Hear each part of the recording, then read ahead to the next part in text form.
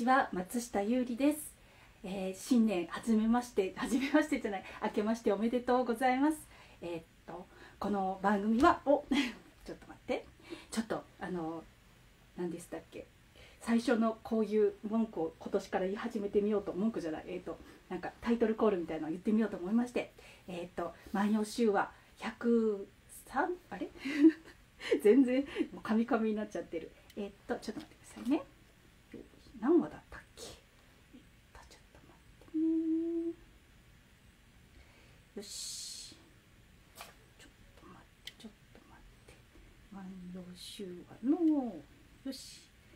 何話だ？何話だ？158話です。はい。万葉集話158話。この番組は万葉集のことをまるっと楽しく分かりやすくご紹介する番組です。えーと、お気に入りの歌人面白いと思ったエピソードなどを歌と一緒に皆様と味わっていきます。えっ、と、ご質問感想など気楽にコメント、えっ、と、いただけたら、えっと、一緒におしゃべりをしていけたらと思います。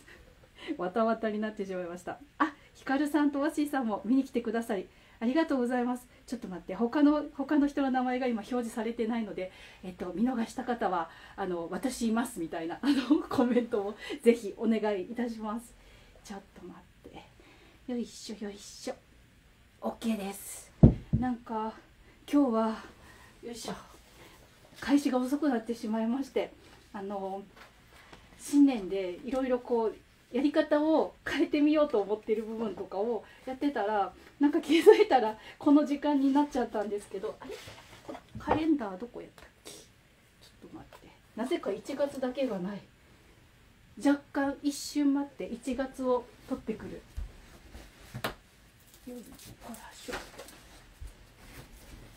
はい。今日は2024年カレンダー皆様ゲットしていただきましたでしょうか？えー、っとこちら。毎年カレンダーを作ってるんですけどなんかあのねよし自分が使いやすいやつを作ろうと思って今年は縦型にしてみたんです。でえっとこの新暦と旧暦を一緒に表示してたりとか若干音が。であごめんなさいごめんなさい。私が自分のよし OK です。ああやゆりさんもこんにちは。見に来てくれてありがとうございますえっと新暦と旧暦をこう一緒に表示してで二十四節気とか月の運行とかをこう表示してなんかこう当時の人たちと同じような感覚で暮らしてたらいいなと思ってちょっと作ってるんですねでこちらの絵を一緒に入れてるのは毎月1種ずつこの季節に沿ったというか季節をイメージするような万葉集の歌を選んでそこからイメージした歌をあの絵をね描いてるんですね。でこの一月ずつカレンダーと一緒に味わっていけただけたら嬉しいなと思いましてああきさんとおシュシュシュシシャイロックさんかな？これ英語が読めない。はじめましての屋台ありがとうございます。シャイロックってなんだっけ？なんだっけ？なんかで聞いた気がする。なんだろう？ごめん。あの、でも読み方が違ってたら違うかもしれない。ありがとう。シャーロックではないのね。あ、えっと、あきさんもこんにちはってことありがとうございます。何、何の、何の映画で聞いたのかな？ごめん。でもなんか私の曖昧な記憶だから何か由来があったら教えて。はい。というわけで、というわけで、えっとね、これね私も結構好きな歌なんですけども光明皇后こと光明師さんのお歌なんです。でまあなんか聞いたことあるなっていう人も聞いたことないなっていう人もいると思うんですけど光明師さんはあの奈良の大仏を建立したってあの聖武天皇さん皆さんこの方はご存知だと思うんですよ。えっと、このチャンネルというかこの番組ではあの引っ越し大王というあの 不名誉なあだ名をつけてご紹介してるんですけどあの歴代天皇の中でこんなに引っ越しをあの銭湯ですよねあの都の引っ越しをした人はいないんじゃないのかっていうぐらいもうなんかフラフラフラフラしてえっと ま、それもいろいろ理由があってのことなんですけどあのしまくったあの天皇さんとしても有名なんですよね。でこの人の奥様がこの光明師さんなんですよ。で光明皇后っていう名前はあの後の人があの呼び呼び出した名前というかあの当時光明師という名前で呼ばれていてあと光る明るい子供の子と書いて光明師さんなんですよ なんかすごいめでたい名前ですよね。でそのあの光明師さんあの光明皇后さんは長いのでも光明師さんとお呼びしますけど光明師さんがこの読まれた歌っていうのが「万葉集」に残っていてですねなんかこういうのときめきません？その歴史の教科書とかではそのねほら聖武天皇が大仏を建てました。で妻が光明師ですみたいな製薬院を作りましたみたいな。この一行で終わっているこの人の何て言うのかな心を表現したものが1300年後にも残っているっていうこととなんかそのね歴史的な有名な人のなんかちょっとプライベートを垣間見れるみたいなときめきがあるのが私はすごい嬉しくって。だからあの「万葉集」の魅力っていうのはこのもちろんね無名の方あの歴史上有名じゃない方の歌っていうのもいっぱい入ってるっていうのもすごく私は好きなところなんですけどこういう、ね、歴史上のあのこのお名前がね皆さんにも知ってるような方のプライベートのことが気持ちとかが見えちゃうっていうのもすごい魅力なんかこの身近に感じるじゃないですかその歴史のただのなんか1ページじゃなくってそこが魅力なんですよね。ひかるさん「聖武天皇は王座ですか?」ってあのね私は王座なんじゃないのかなと思ってます。だってなんかその民の民の何て言うのかな心を救うために巨大な大仏を建てるみたいなその何て言うのかな全く現実的じゃない そのファンタジーを描いてでそれを実行しようとするなんてなんかこうまさに大ざみっていうかそので誰かのためを思ってっていうのがそのねえっと、例えばじゃあこういう政策をしようとかそういうねあのじゃあお金をなんかこうねその民がもっと豊かな暮らしになるように例えばなんかね危機の給付金を出すとかなんかこういうほらシステムを作るとかそういう現実的なところに行くんじゃなくって。巨大な大仏を建ててそのなんか大仏パワーによって人々がきっと救われるはずみたいななんかそのファンタジーで何とかしようとするところがものすごい魚座っぽくってっていうかあの魚座さんをディスってるわけじゃないですっていうか私が魚座なので一番このあのブーメランなんですけどなんかそっちに行きがちなのが。僕ってでその制作を支えた橘の諸江さんっていうあの私も大好きなあの方がいるんですけどあのその、ね、このふわふわファンタジーあの聖武天皇のふわふわファンタジーを現実にあの落とし込んで支えてくださった橘の諸井さんっていう超優秀なあの右腕というかあの部下の方が多分乙女座 乙女座とかヤギ座とかのねそういう土みが強い方なんじゃないのかなと私は思ってます。もう本当本当全部橘さん頼りなんですよねマジで。もうなんかあの上司っていうかもうなんかなんかなんていうのかな。このなんとかなんとかしてくれよみたいに思っていたんじゃないのかなと。まあでもそういうところがでも、ね、自分と全然違ってある意味素敵にも見えてたのかもしれないですけどね。あ梅のりさん。小松さん。すみません。あの お名前の方読んじゃった。あのえっとあの見に来てくださりありがとうございます。昨日はあのセッションしてくださりありがとうございました。あは花花船花花読めてない。触れる触れるさ。ありがとうございます。英子さん見に来てくれて。あのまたお店に行きたいです。あのえっとプレイさんはあの枚方でお花をあのお花のお花屋さんをしていらっしゃってあの私も大好きなあのとてもとてもあの綺麗なお花がいっぱい売ってらっしゃってあの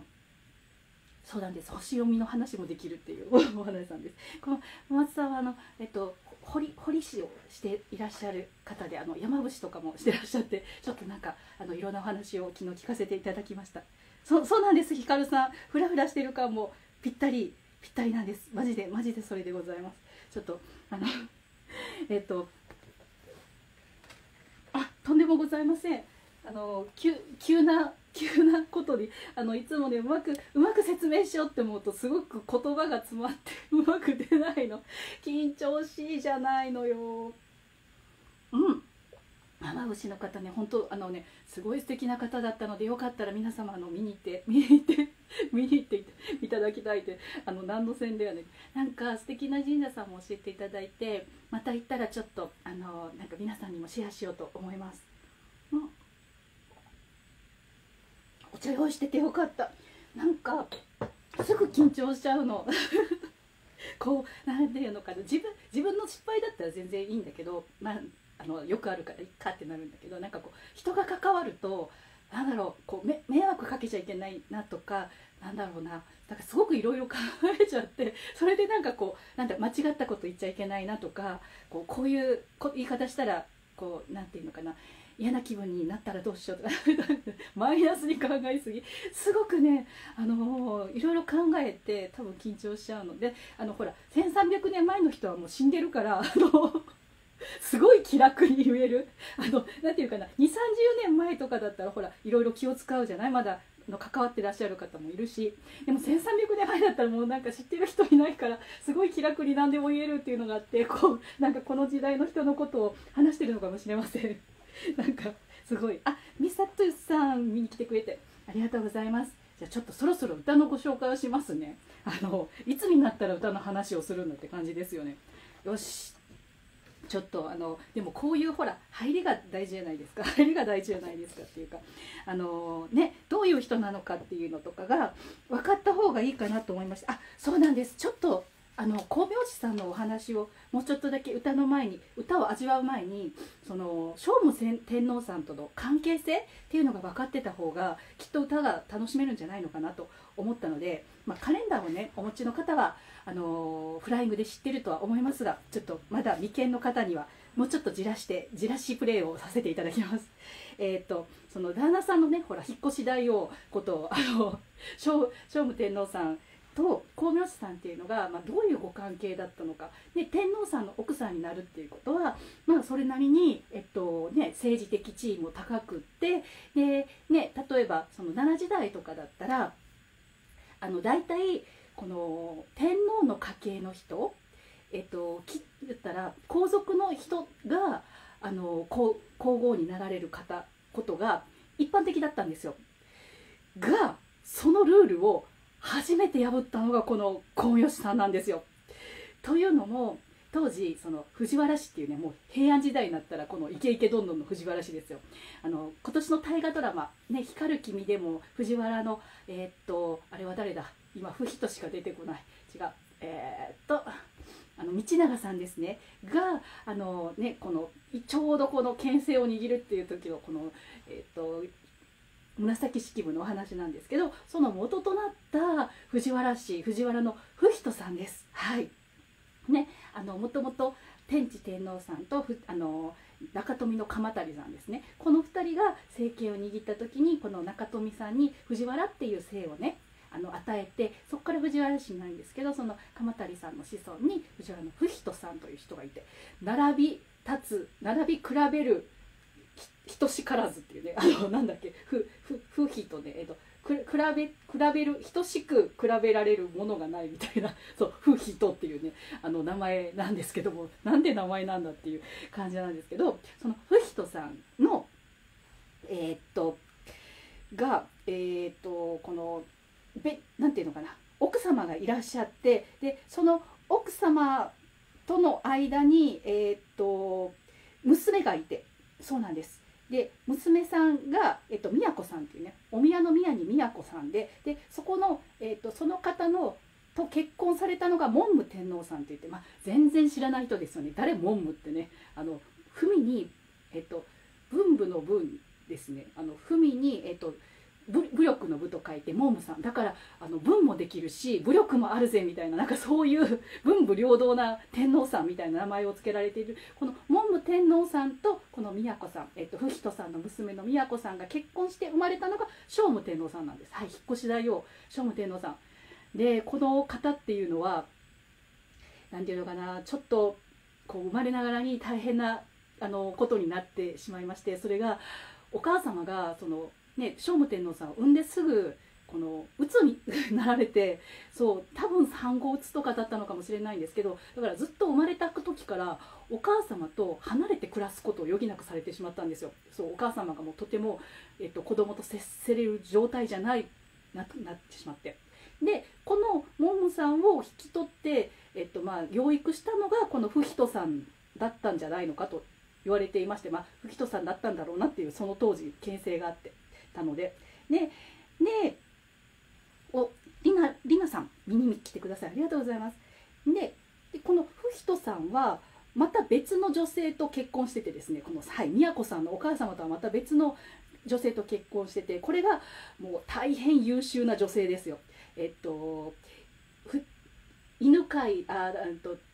あ名前が長いんだ。えー、っとあがたの犬飼の、えー、犬飼立花の道夫さんですね。確か。違ってたら言って。違ってたら言って。じゃなかく道夫さんという方がいてこの人は別の男性と結婚してたんですけどちょっとこの人と一緒にいたらなんかあの なんていうのかな。あんまり私なんか自分の力使えないわみたいな感じでえっとその宮遣いしてで不人さんと私結婚しますって言ってそう息子もいたんですよ。息子もいたのにですよ。ほったらかしてであのー、その、えっと、不人さんと結婚しましても家系図ややこしいからやめてって感じなんですけどね。このでこの、えっと、不人さんと道夫さんが結婚して生まれたのが光明師さんなんですよ。だからそのお母さんっていうのは皇族じゃないしあのねえっとこの何て言うのかな。不人さんも別に皇族の人じゃないんですよね。でそういう人から生まれた光明寺さんっていうのがこの聖武天皇さんの、えっとまあ、結婚するまではありなんです。ありなんですけどこの人が、えっと、皇后になるっていうのがその、えっと、一番の制裁になるっていうのがもう当時ありえないことだったんですよね。もう制裁っていうのは絶対その天皇家の血を引くものでないといけないって言われてたんですけどそれをあの覆してこの結婚できた。です。でその理由としてはもう不人さんが力を持っていたっていうのがあるんですけどでこのねあのちっちゃい頃にお母様と離れられたあの聖武天皇さんはこの不人さんに引き取られたのでこの光明寺さんとはこの幼なじみみたいな関係だったらしいんですよ。そうちっちゃい時からもうずっと一緒に暮らしてねまあなんか近の人なんていうのかな近しく暮らしてるだからね、その聖武天皇さんの孤独具合とかそういうのも全部知っていてもう何て言うのかなもう言ったらきょ兄弟と近いとか家族もうちっちゃい時からずっと一緒にこの人と多分結婚するんだよって言われながら暮らしてたと思うんですよね。ふきとさんは多分もうもう年も近いし絶対ここ結婚させて子供を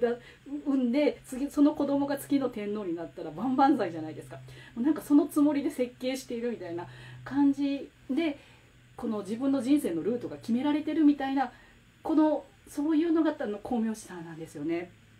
でなので何て言うのかなあちなみに光明師さんは、えっと、東三女ってあの藤原の富士に、えっと、3番目の女と書いて東三女っていうあの署名もされてたことがあるので多分三三女あのお姉さんが上に2人いたんじゃないのかなっていうふうに言われてます。でこのお姉さんのうちの1人旅のさんと、えっと、結婚したのが橘の諸江さんで そうさっきの言ってたね。あの聖武天皇さんのあの引っ越し大王聖武天皇さんのあの現実不可能なあのプランを全て実行してくださったのが橘の諸江さんって言ってた。その橘の諸江さんと結婚したのがこの光明寺のおそおお姉さんの一人ででその橘の諸江さんのお母さん。お母さんが、えっと、さっき言ってたあの不人さんとあの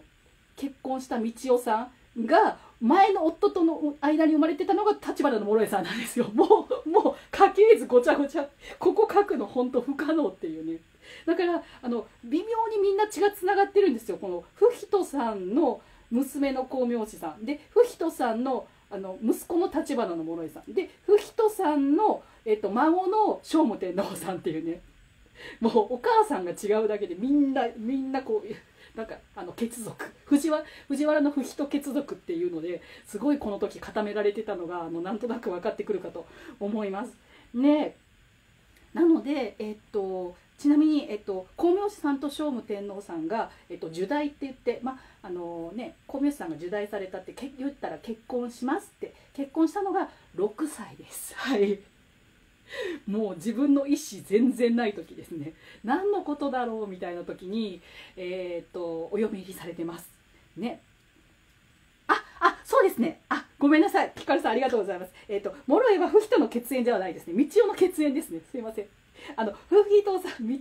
諸江さんだけは違いますね。えっとでも微妙にその不人さん関連っていうことではい。道夫さんです。はい。ありがとうございますヒカルさん。もう本当にこのあの私の曖昧な情報をあの全部整理してくださる。ありがありがとうございます。そうですね。えーと、ちょっと皆様もよかったらあのネットで家系図がこの辺あるので出てきたらあの光明詞とかで検索してもあの光明皇后とかあの藤原の不人で検索しても多分そのややこしい家系図があるのでその辺を見ていただけたらと 見たくないよね ややこしいって言われてるのになんで見るのって話なんですけれども。でまあちょっとちょっとえっ、ー、と整理しますと。ちょっと待ってね。でえっとねこのこの2人の間には光明師さんと聖武天皇さんの話をもう少しだけもう少しだけさせてもらうとこの2人の間には子供が2人今授かりました。はいめでたく。子供が2人授かりました。でこの子供さんっていうのが、えっと、お姉さんの方が、えっと、アヘの姫美子さんっていういらいう方であアヘのさん。平野さんでよかったのかな、えっと、飛鳥部飛鳥部さんじゃなかった？ちょっと待って名前をねちゃんと見とかないとあの私はすぐすぐ違う名前を言ってしまいそうになるので。うんと、あ、飛鳥部さんは意味名の方でしたね。すいません。あの、えっ、ー、と、光明師さんの、えっ、ー、と、イミナ？あと、もともと持っている方のお名前ですが、飛鳥部の姫巫女さんだったはずです。はい、確か。で、えっと、その娘さんの方が、アヘの姫巫女さんで、お、佐々木さん、見に来てくれてありがとうございます。ほら、あの、佐々木さんはもう皆様のご存知の通りあ私またここに本を持ってくるの忘れてるじゃんあのえっとあの名前が今あの青によし奈良によしじゃないそっちのそあれ私の大好きな漫画の方だあのあ青によししかもタイトル間違えた。それもよしでした。あの最近あのとても売れている万葉集の本を売ってあの作っておられる方です。名前？あ柄あっちの方じゃない。あーっと名前が今飛んでしまいました。とりあえず見に行って。とりあえずざっくりざっくりとりあえず見に行くかタイトルを教えて。タイトルを教えて。あ安倍でいいんですかね。安倍の姫美子さん。OK です。ありがとうございます。阿部が源明天皇です。ありがとう。安倍内安倍内親王さんですね。ありがとうございます。この名前の名前の読み違いの大変です。あそうです。愛するよりも愛されたいです。それです。もうなんかどっちがどっちだったっけっていうので言えない。もうヒカルさん頼みのこの番組で。どうしよう。はいありがとうございます。あのこんな感じでお送りしております。はい。えー、っとででです。えー、っとちょっと待って。その安倍内親王さんとえー、っと内親王っていうのはあの女性の方女性のえっとなあの親王さんということですねでえっとでこの息子のさんの方が元陽基礎の木と書いて元陽っていう方がいらっしゃってこの2人が生まれていらっしゃったんですよ。でじゃあねこの元陽が男の子だしこの人が次の天皇さんになるぜってみんな思っててまあねあのーお母さんの方もお母さんというかねこの小明さんの方もね最初に女の子が生まれてるから男の子を産めよっていうプレッシャーすごいの想像つくじゃないですか。絶対産めよみたいに言われてて次男の子でああよかったってほっとしてたと思うんですけど実はこの元洋さんがあの亡くなってしまいまして途中であの本当に若くして亡くなってしまわれてで、まあ、この亡くなったことでそのね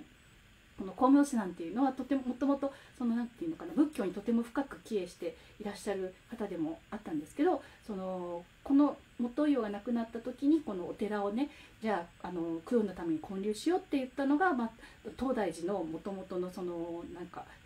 何て言うのかなそこにつながる基礎基礎になったというかなんかららしいんですけどもなのでそのねそそっからあの子供さんは授からず結局その安倍内親王さんがえー、っとあの次の後見天皇さんっていうふうにあのなられるわけなんですけどお元井はそれがしでおまだ正式名称がなかったのかも。あっていう説もあるんですね。没1歳前後。ああね男の子のあの幼い時の死亡率ってすごい高いらしいんですよね。で当時は医療もそんなに発達してないからもうなんか本当男の子が無事に成人するっていうのがもう本当に何て言うのかなすごく貴重貴重なことっていうかだからあのどこの種族だったかななんかあのねちょっとそのね大きく育つまでは男の子女の子の格好させてあの育てるみたいななんか種族のところも確かあったはずなんですよね。それがしの意味でもといとんだかもだけどあなるほどなんかね名前ねこのと当時の名前ってそのね、読み方が分からなかったりその、ね、仮でつけられてたとかなんかそういうのがいろいろあって、ね、こあの私たち読む方は何が正解だったんだってすごく悩みますよね。はい、というわけででそのそんな感じでであとこのその、ね、大切な息子さんも亡くなられてでそのね本当はお嫁に行ったりとかしてほしねあの買っただろうその娘さんにこのね立候とあのなんていうのかな次の天皇祭になってもらわないといけないっていう負担もかけさせてることになってねしかもこの旦那さんの方が先にね亡くなってしまうんですよ聖武天皇さんの方が先に。っていうのもあったりしてそのね光明皇后さんっていうのはすごくその仏教っていうものに何て言うのかなこの自分の心の比重が大きくなっていって行かれてだからそのねえっと法華寺とかあと新薬師寺あのね奈良市のあの春日公園の近くにある新薬師寺とかあと海の竜の、えっと王様の寺と書いて海海竜王子だと思うんですけどというのも建立されたりとかして結構そのね今残っているその仏教のお寺っていうのをぱい建てていらっしゃったりとかするんですであとその聖武天皇さんが亡くなられた時にその聖武天皇さんが使っておられたこの愛用品日常の愛用品とかそういうものをその正倉院にこの正倉院とかの東大寺に、えっと、献納あの、えっと、ご奉納されたんですよね。でこの奉納された時のこの宝物がそう正倉院宝物の始まりになったそうなんですよ。だから今私たちがねあの毎年その正倉院宝物展とかいうので楽しめてたりとかあとね奈良時代のこういうものをあの貴族の方とか天皇さんが身につけておられたよっていうのをこの味わえるのもこの光明師さんのおかげというか光明師さんがその聖武さんのことをとっても愛して大切にしてらっしゃったおかげなんですよね。だってめっちゃ嫌いだったらもうなんかこいつども全部燃やしたろみたいになるじゃないですか。それじゃなかったっていうのもこの2人の関係性がすごく良好だったっていうこともなんかこういう文化が残っている一つの礎になったっていうなんかすごい素敵なエピソードじゃないです。ね。なんかあえーと、元井が亡くなって先ほどのお話ですね。元井は亡くなって藤原の家系の子がああの安倍内親王だけになっちゃったんですって。そこですね。はい。そこの、えーと、ところがあったのでその、うん、安倍内親王さんが、ね、後継天皇さんに疲れるしかなくなったっていうねそこなんですね。あ星さんも見に来てくれてありがとうございます。というわけではい。えであのー、もう一つそのえっと、安倍内親王さんの安倍内親王さんじゃない、えっと、のあ、えー、名前が出てこない光明師さんのお話のエピソードがあるんですけどその前にちょっとこっちの歌をそろそろねいついつ歌の話するねんで多分皆さんもそろそろそろそろってなってると思うのでこちらの歌をご紹介していきます。という前にあのね私今年からあ新体制を作ってみました。はいじゃあか印刷してみました。あのいつもね歌番号で調べてねって言っていたんですけどはい今年からこのシステムを使うのでこちらで見ながら読んでいこうと思います万葉集1658番こちらが万葉集の歌番号になっていてえーと、4000何百首あるので一つ一つ歌一首一首ですねに歌があの番号がついてるんですね。なので「万葉集スペース」この1658で検索するとこの歌がえっと、Google とかでねあの検索すると出てくるので原文とかそういうのを楽しみたい方はそちらを検索しながら見ていただけるといいと思います。では1658番。えー、っと「我が瀬こと二人見ませば幾ばくか。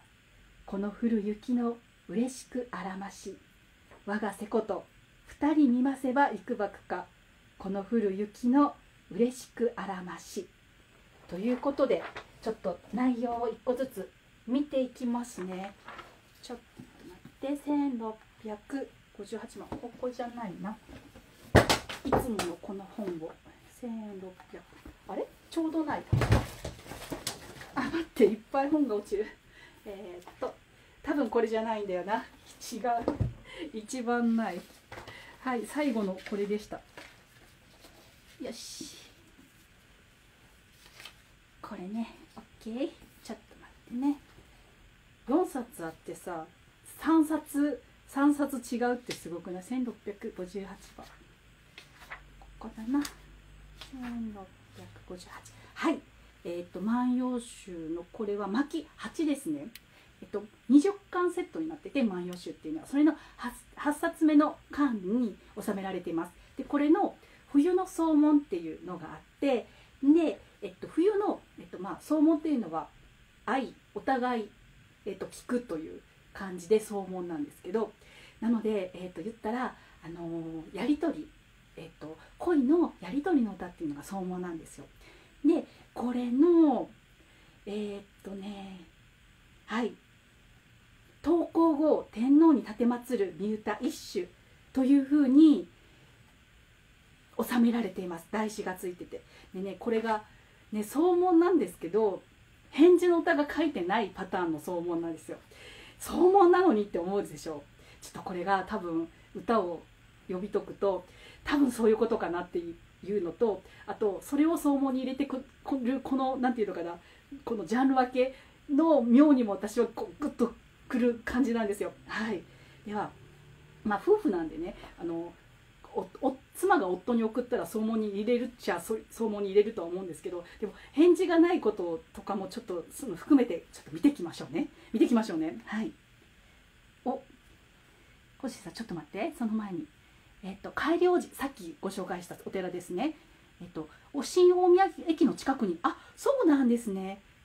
海流王子ってあの怪物の怪獣王子ですね。怪獣王子と聞き間違えそうって。確かにそうわかる。私もなんか何かに近いの音音だなと思ってたけど怪獣王子ですね。怪怪獣の王子。あくまさんも見に来てくださりありがとうございます。あやりさんありがとうございます。ちょっと楽しみにしててください。ではこれの意味を読みていくとちょっと待ってね。これを見ながらにしようかな。はい。我が瀬ことっていうこのね背中の子と書いて瀬子というのはまあ、万葉集の歌の中だけの表現なんですけど歌の中だけで女性が愛しい男性に呼びかける時の言葉を「せこ」と言います。はい、なので光明寺さんからしたら間違いなく、はい、これはもう聖武天皇さんのことです。だからあの光明寺さんがわあの私の愛する人あの聖武天皇さんと2人で見たらはい2人で見た見たとしたらです。2人で見たとしたら見まませばは事実に反する過程を表すという言葉なのでませばですこの ませば。事実ではないことですね。えっとなのでこのこの今今この時この歌を読まれた時はその聖武天皇さんと一緒にいない時なんでしょうね。で,、えっと、で幾幕かっていうのは、まあ、どんなにかっていうんです。はい、どんなにかこの降る雪の嬉しくあらましなので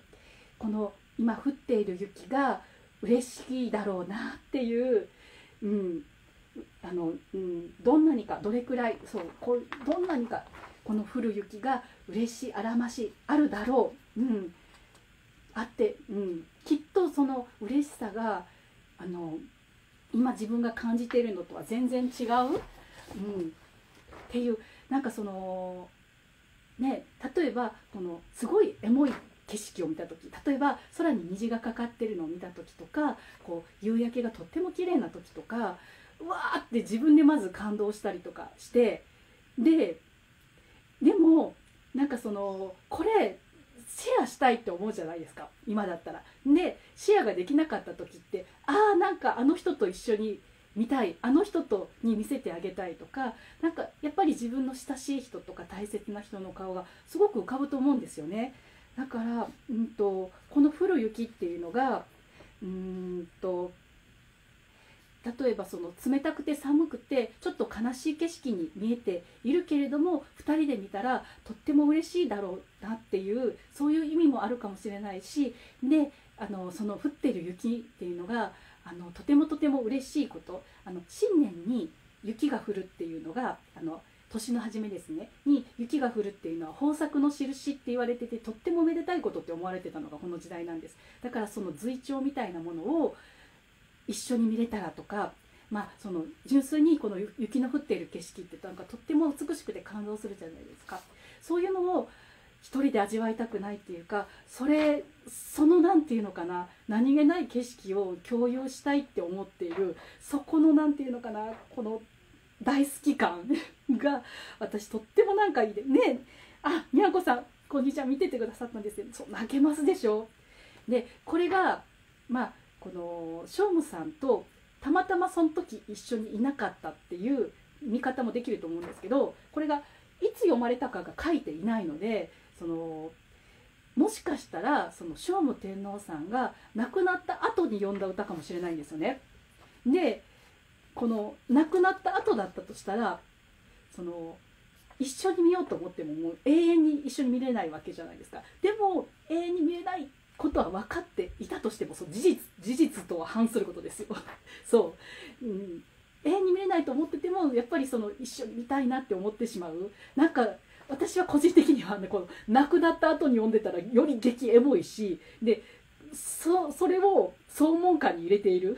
というところによりエモを感じるなと思って個人的にすごい好きな歌なんでございます。はい。いかがでしょうか？皆さんの解釈はこの「2人見ませば」っていうねあの事実に反するこの 2人一緒に見てないっていうここの解釈をたまたま今日はあのショームさんと一緒にいなかったと捉えるかショームさんとこのね死に別れた後で読んだっていう捉えるかでどういうこのエモさのこの,、ね、あのレベルが段違いになるそういう、ね、この解釈次第な歌でございます。はいこうねがねおにゃんこさん「お空の背の君を思って歌った日本ね」そっちで解釈するともうなんかこうわーってなるんですよね。あのこちらの注釈の本ではたまたま一緒にいなかったのではないかって書いててそんなことない。そんなはずはないって私はちょっと思っちゃいました。もうだからここはもう本当に分かんないとこなので皆様がこの歌をどう受け取られるかなんかそこを楽しんでもらえたらいいなと思います。でえっとこの小名字さんっていうのはおシャイロックさんにいるのかな、えっと、言葉の響きが2人見ませばって少し悲しい感じがしますっていう。ねでしょ？なんかなんかもう絶対一緒に見れない感じしない？この2人見ませばって。だって生きてたらなんかこうそんな言い方しなくないって私思うんですけど。なんか2人で見たいなとかあのその人に対して2人で見たかったわとか見たいわとかそういう感じで送らないって思うんですよ。なんか。これ絶対もう二度と会えないからの言葉なんじゃないのかなって思うんだよね。おエリさん。過去に一緒に見て喜んだ記憶があってあそれある、うん、それを踏まえた上で今は一人と考えると寂しいですねって。まさにそれなんですよ。多分そのねこの2人でだってちっちゃい時からですよ。もう何だったら生まれた時からその生まれてすぐそのお母さんとあの離れて一緒に暮らしてたからもうなんか記憶が物心ついた時から一緒にいる人ですよ。もうなんかある意味自分の半身みたいな感じでちっちゃい頃から何度も何度もあかもなんか想像してたら投げてきた。この一緒に毎年雪を見てちっちゃい時だから一緒にこのキャッキャして雪遊びしたりとか。もうなんかこうめっちゃなんかそれを思うと泣け やばいやばい、えーと、泣けてきてしまったんですけどそう雪遊びしたりとかまあなんか大きくなってからだったらその恋のやり取りとかにもそういう雪を踏まえたやり取りとかしてももうなんか人生の全部ですよ。自分の人生全部積み重ねてきた相手と過ごした雪ですよ。この雪。降る雪っていうその重さですよねっていう。あひかりさん私は絵も読めない。それもあ大丈夫です。はい。全然全然。あのエモくない解釈の方もちょっと教えていただけたら嬉しく思いますなんかこうねこのだからそこも面白いとこですよねその私は結構この激エモで読んでしまっているんですけどそのでそれってそれまでのこの何て言うのかなの自分の中で培ってきたものとかあとこの歌をどう読み解くかみたいなところでも変わってくると思うのでそうエモく読めない理由もちょっと聞いてみたいですね。聞いてあえてあえて聞きたい人っていう。はい、で、えっと、こちらね、えっと、その光明師さんっていうのがとってもそのさっき仏教に帰依していたっていうのもお話してたと思うんですけどなのであの割とその当時からボランティア活動をしてた人っていうのでもすごく有名でで、まあ、あの事実かどうかは分かんないんですけどあの分かんないですけどそういう部分もあるんですけどその、えっと、自らがこう民のそのケアをしたりしてたみたいな伝説も残っててでも実際にその、えっとこの歴史として残っているのが、まあ、製薬院って言って施術の薬の院と書いて製薬院とかあと悲しむ、えっと、他の院って書いて秀院っていうものを建立してでこれがどういうものかというと,、えっと当時、えっとまあ、庶民救済の、まあ、施設っていうものをあのその光明師さんが購入されたんですよね。で、えっとまあ、うんとどういうその庶民救済を具体的にされてたかというと例えばその、えっと、病人とか孤児とかでそういう人の保護とか治療とかあと製薬薬を施したりっていうなんかそういうことをする、えっと、施設をその光明師さんがこういろんなところに建ててで、えっとまあ、あの当時すごいあの高価だった人参とか、まあ、慶心とかいうそういう薬草みたいなのも、えっと、そこに寄付したりとかしてでなんかこうねそういうことを多分当時してる人ってすごく珍しい状況だったと思うんですけどその中でもそのやっぱり仏の、えっと、そういう何て言うのかなあの救いを人救いをいろんな人に、えっと、届けるっていうのをあの、ね、なんていうのかな聖武さんみたいに大仏建てるっていうなんかそういうふんわりしたことでふんわりしたことって言ったら失礼なんですけどそういうことで終わらせるだけじゃなくて実際にそういうあの効果があることっていうかその見えない方っていうかメンタル的なとこだけじゃなくって実際のこの3次元的なところのケアっていうところにも力を入れられたっていう方なのがとってもすごいなっていうところででうんとえっ、ー、とそうですね。えっ、とこの光明師さんっていうのの立場を考えた時にもなんかそういうのってすごくうんと何て言うのかな彼女の心のこう葛藤みたい葛藤というかまあが見えるんじゃないのかなって思うのがそのね初めてその言ったら皇族ではない身分言ったらねそのこの皇族の人と皇族ではないっていうところにすごいここの開きがあったわけじゃないですか。でそれをその父親の不人さんっていうのが当時すごく勢力を持っていたがゆえに自分が、ね、日本で初というかその時初めてその天皇の制裁妃になるっていう立場になったわけです。もうそりゃいろんな陰口言われるわけじゃないですか。ねあの父親の意向を借りてとかもうそんなことするべきではないとか表立っては言われなかったと思うんですけど多分そういう目線も感じてただろうしでそれをもうなんか生まれながらに 義務付けられてるっていうか別に自分で皇后になりたいみたいに取りに行ったわけではないわけででもこうそのそれをせざるを得ないし、まあね、それをうんね、この聖武さんを一緒にこういるっていうことを考えた時にもう結婚してるわけですし他に皇后になれる人がいないみたいなことになった時にその役目をせざるを得ないじゃあどういう皇后でいたらいいんだろうってすごく考えたと考えられたと思うんですよね。その中でやっぱりその自分ができることその、ね、形だけのなんか皇后であると思われたくないとかやっぱいろんなことがそうそういう人でいたくないとか何かしらその自分もその民を救いたいっていう聖武天皇さんのことをまあ応援してたりとかその人に沿う気持ちがあったんだとしたらじゃあ自分もそうあろうじゃあ自分にできることは何だろうって考えてそういう民のことを救う院を建てられていったんじゃないのかなって思うといやいろいろ葛藤があっただろうなと思います。嫌ですよね。なんか初の事例になるの。なんかこうみんなが応援してるわけでもないのに矢面に立たないといけない場所に立たされるとかすごく大変だったろうなと思うのでっていう感じでございました。お馬場さんあバラさん見に来てくれてありがとうございます。というわけでというわけでおひかるさんお多くは飲めませんがさすが空気が読める。えっと背景からなどですかね。じゃあ後でこっそりこっそり教えてください。なんかいろんないろんな視点が知りたいのははい。ねそうなんですよねあの私の解釈もあの正しいと思ってないし私も研究者じゃないのでなんかこういろんな政治的なところとかはちょっと苦手なジャンルではあります。はい、じゃ苦手ジャンルなのでそういうところに詳しい人の視点が聞けるとあそっかそういう風に見ると確かになみたいなのもあったりしてめちゃめちゃ面白いです。はいね、だって所詮その人のことがわからわからないじゃないですか。なのでもう何でも違うし全部違うし全部正解みたいな。そこがいいですよね。あ星さんも素敵なコメントをゆりさんのエモいもひかるさんのクールなあの雪もどっちも好きって。その通りです。ありがとうございます。もう本当にここを見てあの見に来てくださる皆様の優しさに支えられております。ありがとうありがとうございます。というわけでいかがだったでしょうか？2024年カレンダーの雪の歌でございました。エモく感じるか感じないかはあなた次第みたいな。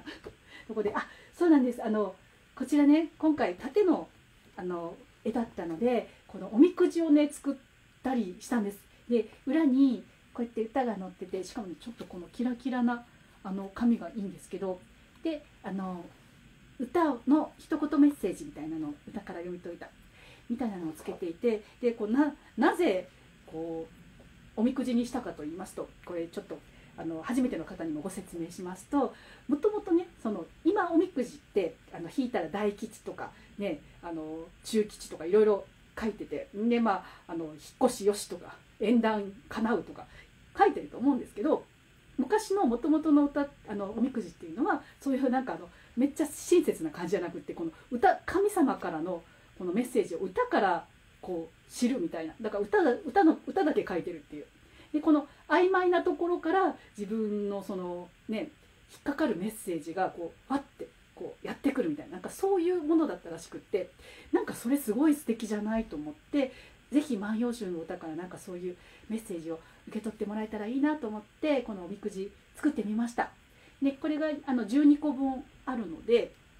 えー、とイベントの時とかにこのおみくじボックスに入れてこう取ってもらうっていうのもやってるんですけど一応オンラインショップでも、まあ、ランダムで私があの、え、っと引くんですけど あのこの束からであの一応お名前を思いながらこの方にあのぴったりな歌のメッセージをくださいみたいな感じでシュッて引いてであの紙に包んでお送りするっていうのをしてるのでちょっと新年ね「あの万葉集」の歌からメッセージ受け取りたいぜっていう方はあのベースのショップからぜひぜひご注文してください。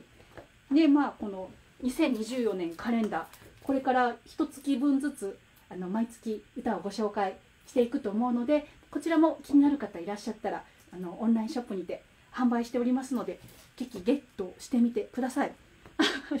ありがとうございます、ひかるさん。え、エモいままの方がいいこと思って。どうなんでしょう。あの、あの、楽しみ、楽しみ方次第ですよね。その、エモくないのを、そのシュール、シュールっていうか、シビアな感じを楽しみたい人もいるし、そのエモで楽しみたい人もいるし。あ、いおりさん目から見ると、巧妙者何座ですかって。えっとね、でもこの現実的なそのケアをできるっていうところもあるしその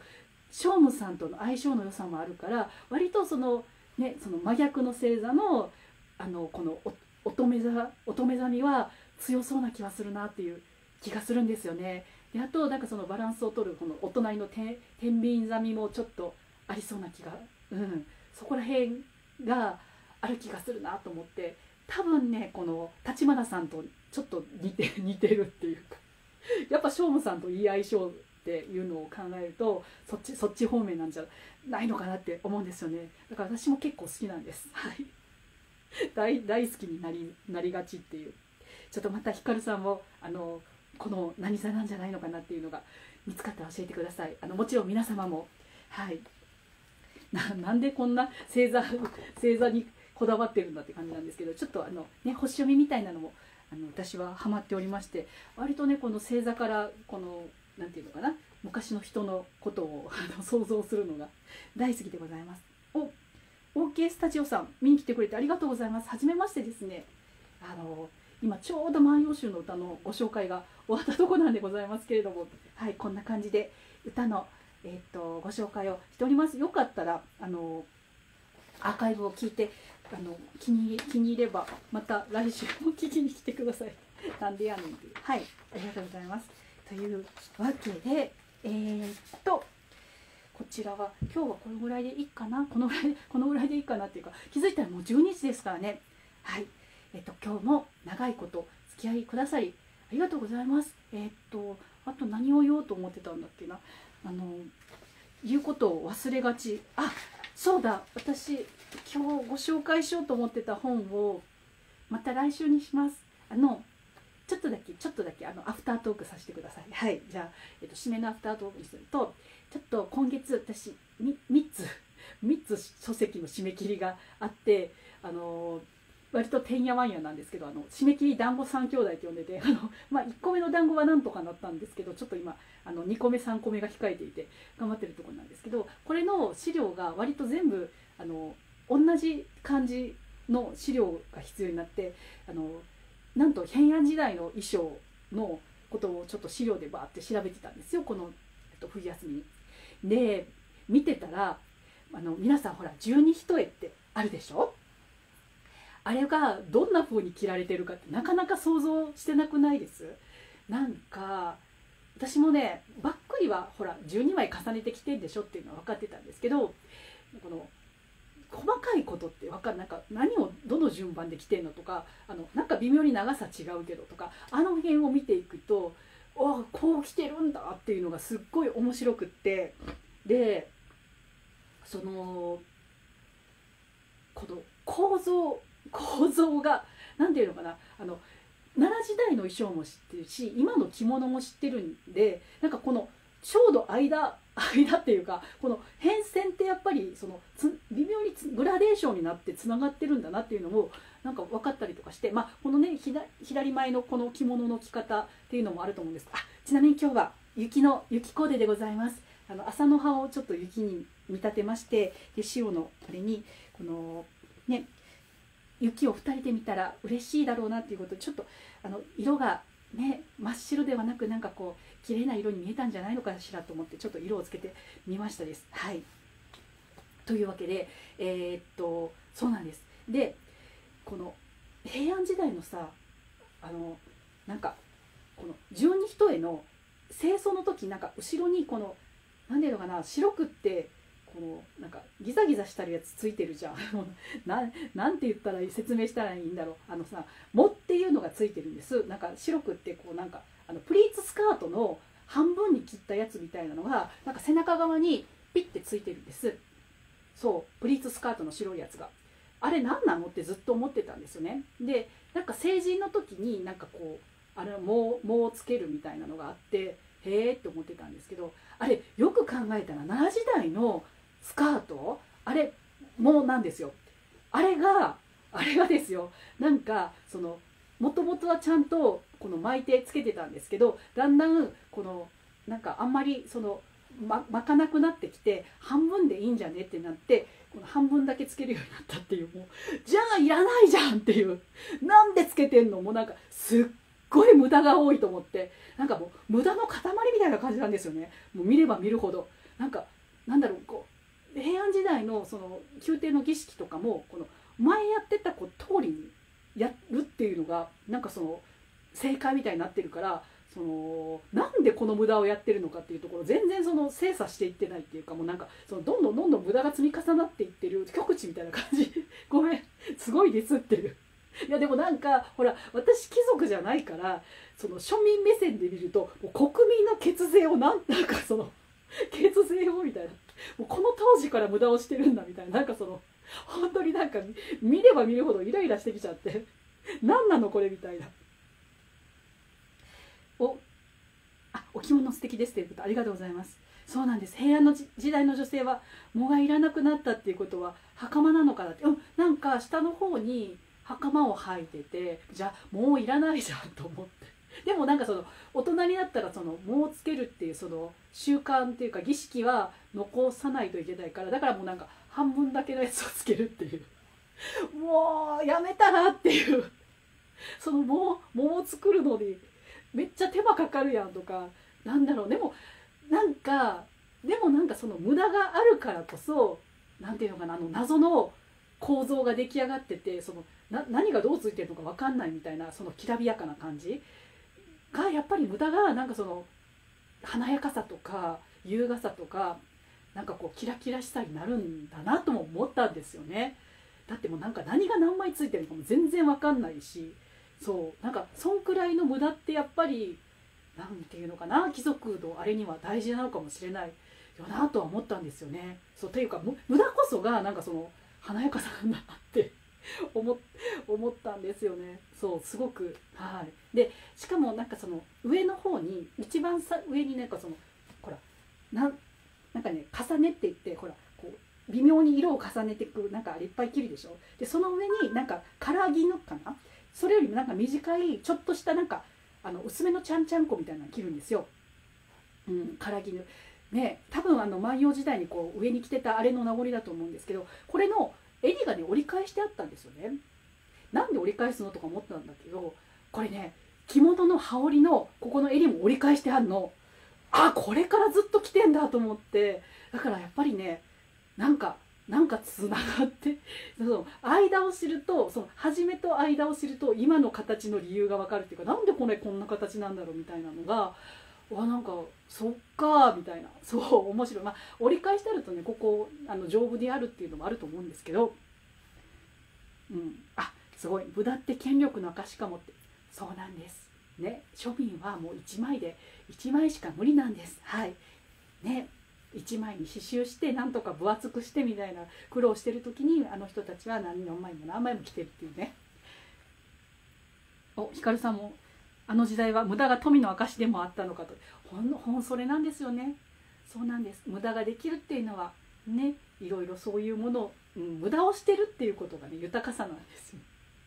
ね。食べ食べては破棄してたのね。昔のなんだっけギリシャの頃とかローマでしたっけ？のああいうのも一緒ですよね。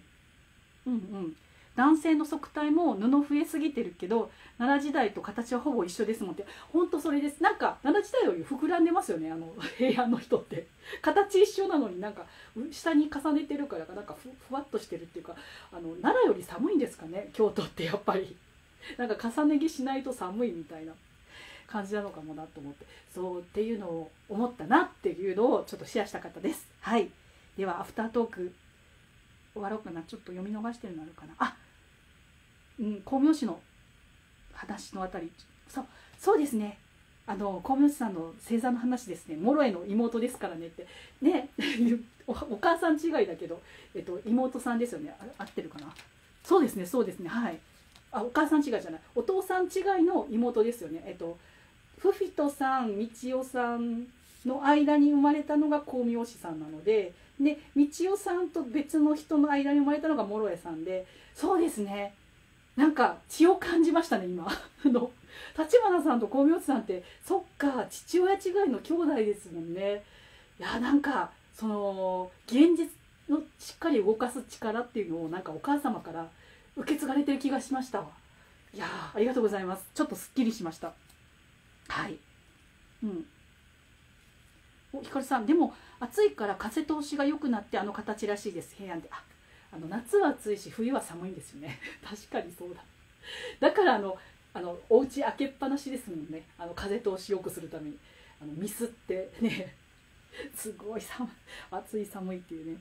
まあ、ホッシーさんこれでも今は随分簡略になったのよと言いながらわけのわからないものが積み重なって その道の権威がいるのは現代も変わらないかもで本当本当その通りですね。いやもうなんかねあのわけのわからないものが積み重なっていってなんかこうなんかの権力になるんでしょうね。はい、それが維持できそうわけのわからなさを維持できてるのが権力なのかもしれないですよね。そうほ他のやつの不満とかああのアドバイス一切受け入れないっていうのが多分権力なんだと なんかちょっと思いました。はい、あなお父さん見に来てくれてありがとうございます。こんにちは。あのいろいろメッセージやり取りありがとうございました。というわけでちょうどちょうど今終わろうとしてたの滑り込みセーフですね。えっ、ー、とでは今週も聞きに来てくださりありがとうございます。えー、っとなんかね締めの何かを言おうと思ってたんだけどちょっとメモがどっか行っちゃったわ。もうなんかねあのー、こんな感じでゆるっとしております。ああなんかいっぱい落ちた。いっぱい落ちたからちょっとそろそろ そろそろそろそろ終わるわ。あバイバイってこと。ありがとうございます。あの今年はあの佐々木さん何かであのイベントご一緒イベントというかなんかご一緒できたらいいですね。というわけで、えーと、今週も「万葉集」話聞きに来てくださりありがとうございます。来週も皆様と何か楽しい歌を一緒に味わっていけたらいいなと思います。ではではまた来週ありがとうございます。よっと。いっぱい落ちる。ごめんいっぱい落ちるって。